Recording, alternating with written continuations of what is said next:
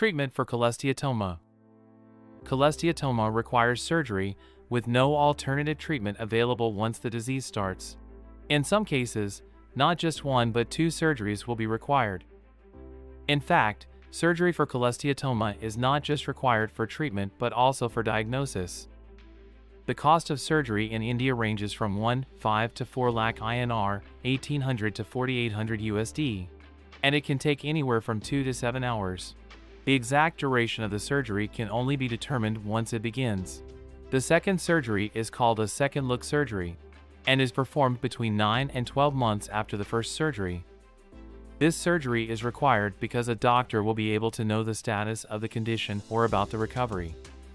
The decision to do the second surgery will depend on the findings of the first surgery. To learn about cholesteatoma, a bone-eroding ear disease, please check out our article. Link in the description. Stay healthy. Stay happy.